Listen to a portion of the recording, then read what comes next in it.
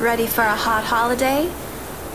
When booking airfare, hotel, and or car rental using a third-party travel planning service, either online or in person, confirm your booking with the actual supplier to ensure the reservation was received and that the dates and details are correct.